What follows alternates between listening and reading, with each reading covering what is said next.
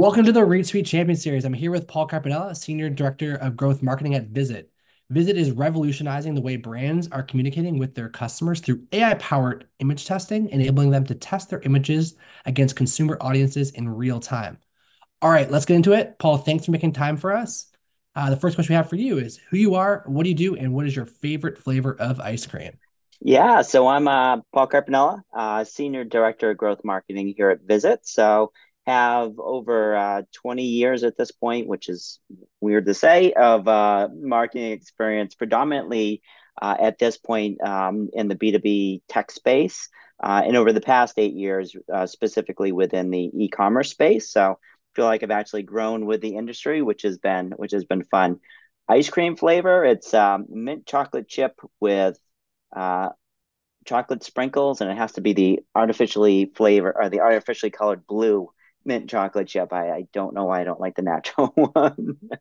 Love that. Yeah, I was, I was actually I had ice cream on the weekend and I had it's like guava donut and cheese ice cream and oh, it blew my mind. really? Um, if you're if you're if you're near Salt and Straw, I don't know if that's up to where you guys are right now, but Yeah. that was one of the best ice cream flavors I've, I think I've ever had in my entire life.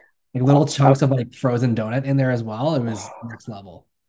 I'm a, I'm a little chicken on my ice cream, but I might have to try to. Might be adventurous one night. I know. I was like. I wasn't sure. I was like, I'll, I'll have a little taster, and I tasted. I'm like, this is like a beautiful combination of heaven right now.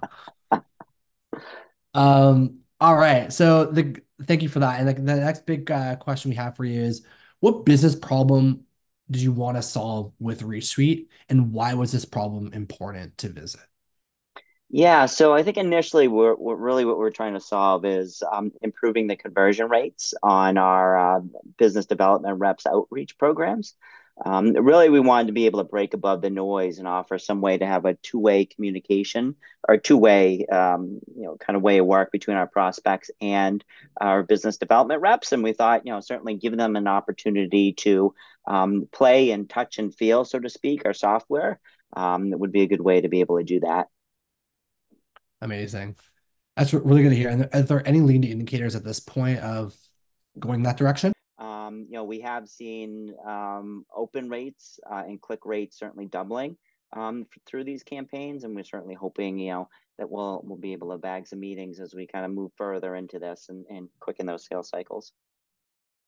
Awesome. And then kind of the big last question for us is like closing thoughts on how you intend on expanding your adoption of demo automation in the future, and just in general, maybe some thoughts on the buyer's journey or buyer enablement at a macro level going forward as well. Sure. So from a Vizit perspective, we really want to start looking and leveraging this uh, this tool uh, at all stages of the funnel. So really looking at what is that buyer's journey at after they go from meeting the opportunity, when they're in opportunity, going down to the buying uh, the buying committee cycle, and really have an experience that would enable them to best champion our software across the across their kind of buying journey, but then also be feel very comfortable uh, once they're actually buying it that they know they're going to get value on it.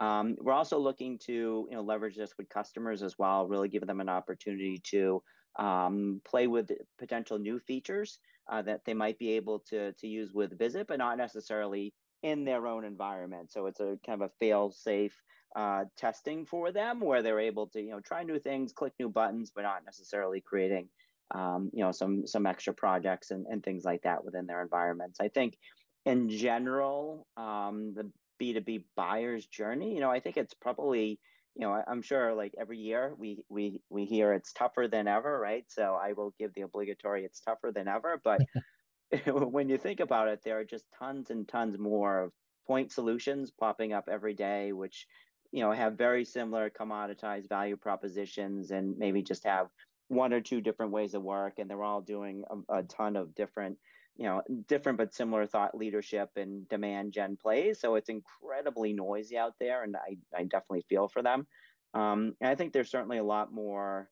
Um, as always, a lot more justification there. Like I think there's ability um, through telling good stories and really enabling your prospect champion to help really drive sales forward. But I, I still think, end of the day, um, you know, there's still going to be a lot of scrutiny on what's that ROI, scrutiny of not only the the sales ROI, but like can we actually get value right away as we're, we're looking at this? So, you know, I think those buying committees want to be very certain that the foundation pieces are easy to achieve with some of the realization that, hey, the sales might not be right away, but if we have the foundational pieces, we're at least going to start getting some some margin and return on investment value um, out of it. So, and I think certainly now as we're looking at AI tools, um, you know, hopefully the the ability for um, providers to more quickly identify uh, actually in market folks and then really give them the the content and messaging that they need to understand how we solve your problem at that point in the buying journey should um, you know just make this whole process easier and more effective for for both sides of the house both the seller and the, the person looking to buy yeah it makes a ton of sense um i'll do one final question that's my own here uh any yeah hot take or prediction for 2024 in the B2B sales world? Oh, in the B2B sales world back in 2024. So this so my hot take is I think this is the year we get back to more in person. Like I think we've seen shows getting bigger. I think we've seen probably a lot more that you know Zoom meetings transfer into uh, on site. So I think this is the year like we're finally getting back to that that new normal. We're probably getting a bit more um, in person. I think you know, as expensive as events can be, I think you know there are certainly good opportunity to get the FaceTime that are they're moving the deals, and the better prepared we as marketers are to arm our sales folks with the right tools, the right experiences to actually make those conversations um, organic. So it's not a sales pitch, but it's an actual experience for them. Um, yeah. There's both kind of social and uh, business. I think the uh, the more effective we're, we're all going to be as marketers and sales folks and buyers at the end of the day. Yeah, no, I love that. I've been I've been feeling that transition. I think more and more, um, and like this could come from like just before the pandemic. I I think I was home for I think it was like ten days and three months when I was like right before the pandemic hit. I was set to go to Australia for three weeks. Like, yeah. a, like I think a week after they said like no, like nobody's flying anymore. Yeah. Um, and I was like, there's got to be a balance between that and nothing.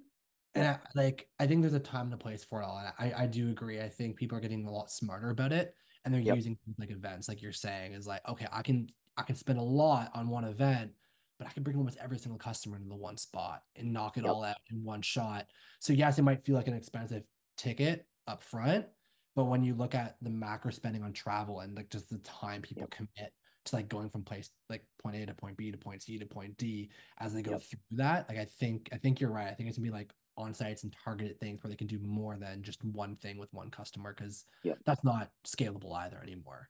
No, it's not. And I find I feel like the uh, the BDRs and sales teams, the most impactful and most effective outreach tends to be um, around those shows. But I think there's also a little bit of uh, if you want to go, you need like you need it like you need the same thing. You still need to justify the ROI, which gives them a little bit of a little bit more of a, an impetus to do that. Yeah, no, for sure. Well, cool. Thank you for your time, Paul. Um, yeah, as always, you. appreciate it. Um, we love you guys as customers. I'm really excited to what we're gonna accomplish in 2024 together, and um, it's gonna be it's gonna be a sweet year, I think.